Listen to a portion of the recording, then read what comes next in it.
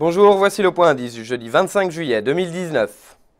Les indices européens pourraient profiter de la faiblesse de l'euro dans l'attente de l'intervention de Mario Draghi sur la politique monétaire de la BCE et de son probable discours accommodant.